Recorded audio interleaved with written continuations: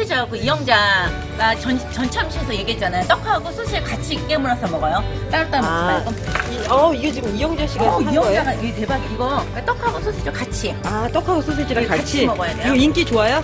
아, 이거 이영자가 나와서 대박인 거예요. 아, 진짜? 어, 오. 네. 대박이에요. 이영자가 전참시에서. 아, 전참시에서 나왔구나. 어, 먹어볼게. 잠깐만. 아, 먹을 때 어떻게 먹으라고요? 드실 때 떡하고 소시지하고 같이 드세요. 아, 그게 중요해요? 네. 알겠습니다. 전참시 이영자님의 추천이에요. 예. You have to eat sausage and rice cake together. Okay? 어, 오케이. Okay. Why don't you eat? She said you have to eat together.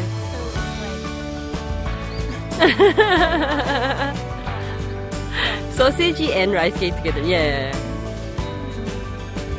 이게 이영자 씨의 전참시에 나온 건데 아주 인기가 좋다는데, 음, how is it? You guys like sausage and rice cake? Yeah.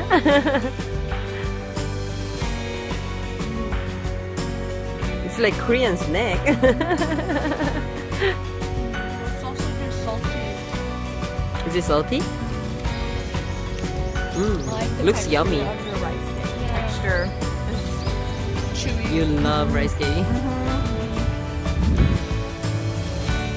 How is it?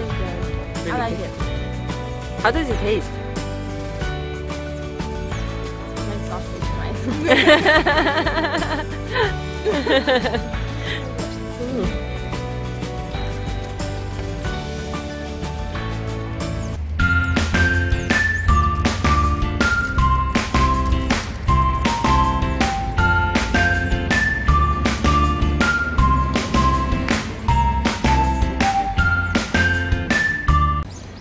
네.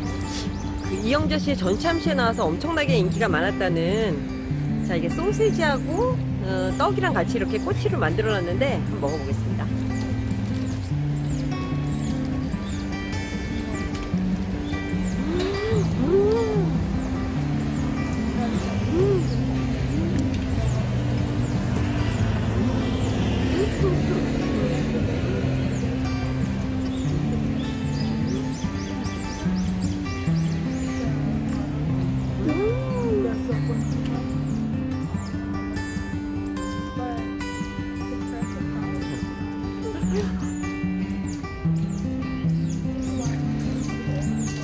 이게 되게 짭짤하면서 고소해요. 와.